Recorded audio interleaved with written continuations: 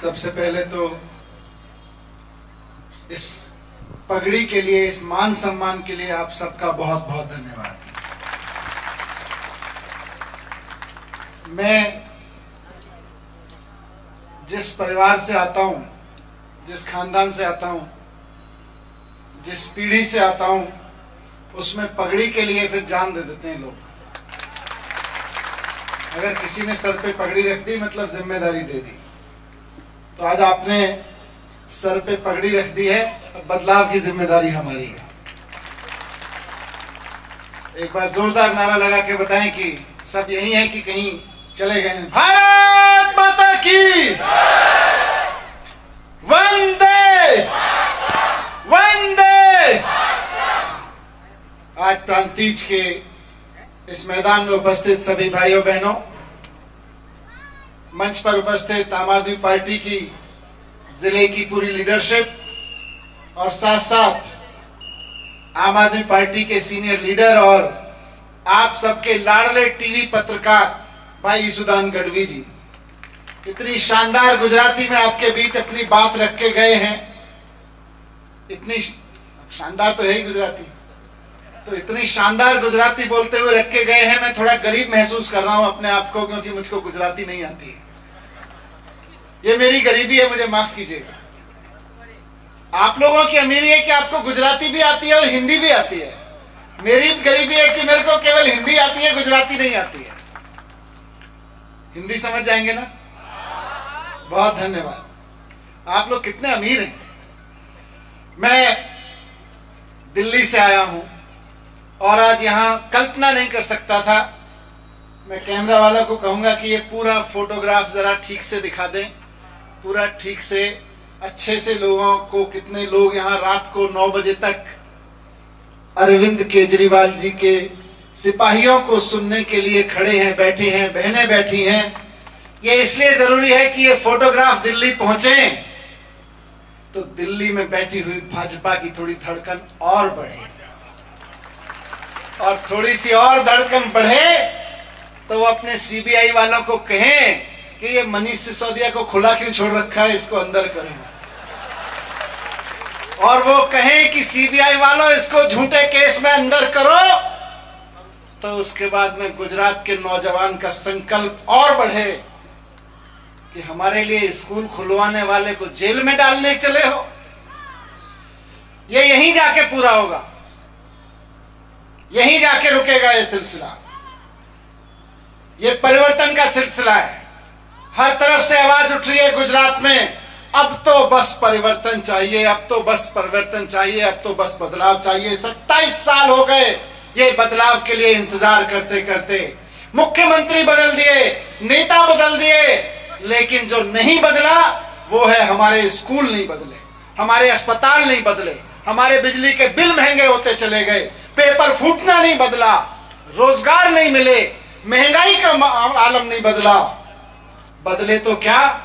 केवल मुख्यमंत्री बदल गए और मंत्री बदल गए। लेकिन जब से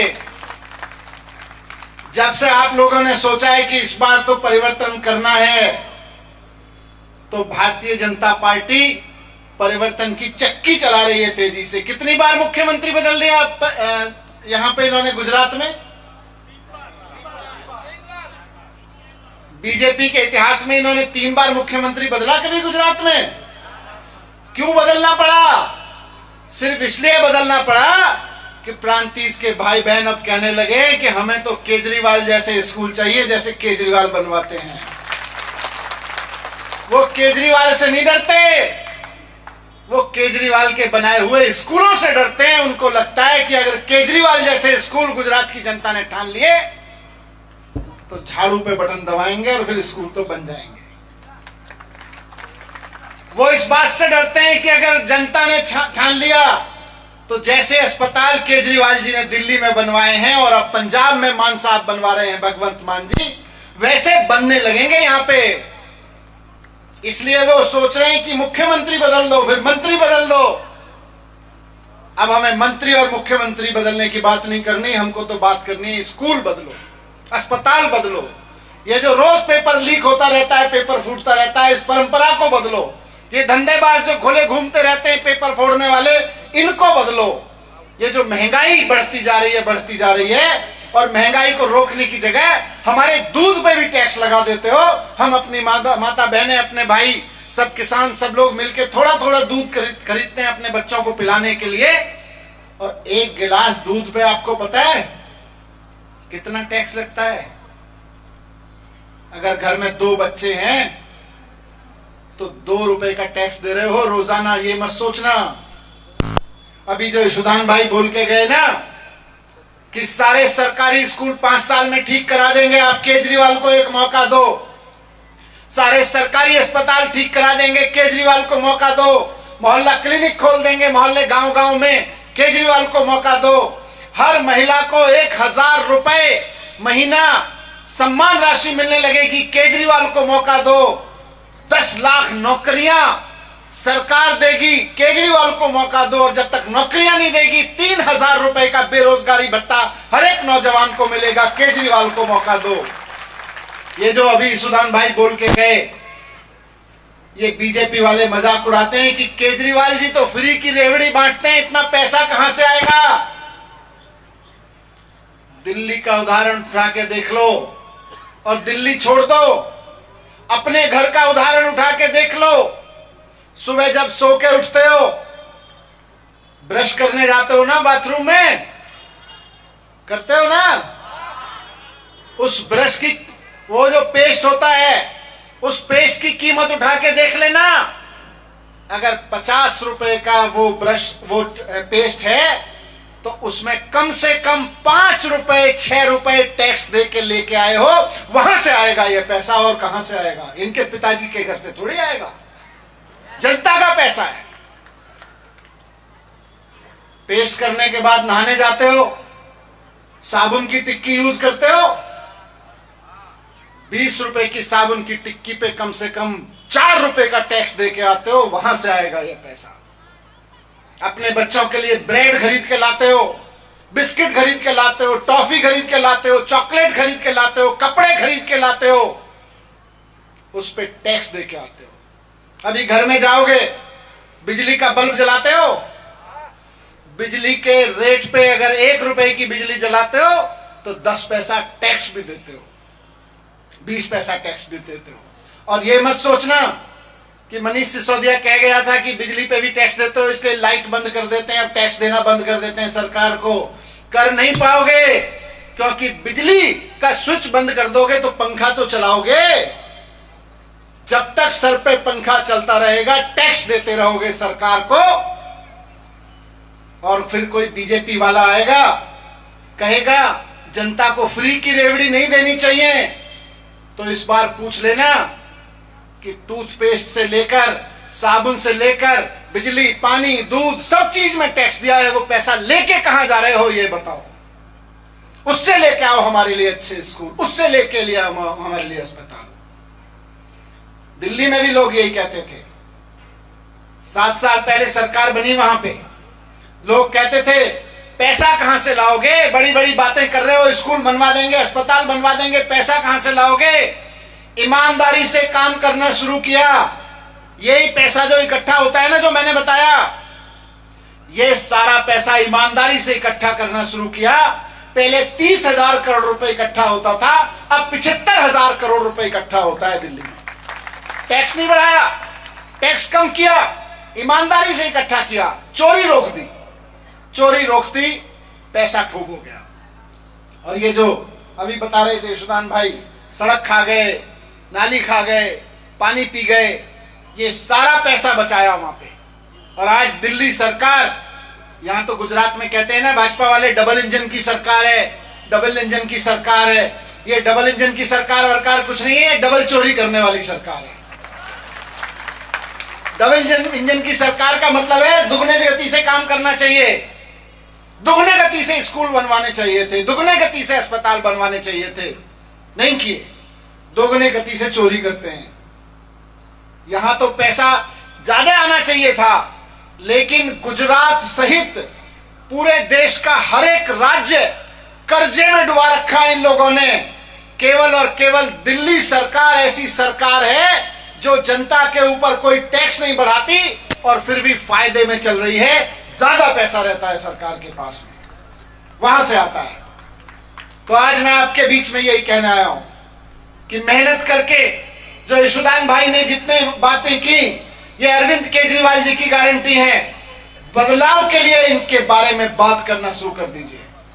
बदलाव इस चीज़ का नहीं कि नेता बदलने और मंत्री बदलने बल्कि स्कूल बदलने हैं, अस्पताल बदलने हैं, रोज़गार बदलना है, पेपर लूट रोकना है, महँगाई को रोकना है, और नेता अमीर होती रहे, नेता अमीर होते रहे और जनता गरीब होती रहे, इस परंपरा को रोकना है। ये इसके लिए बदलाव चाहिए।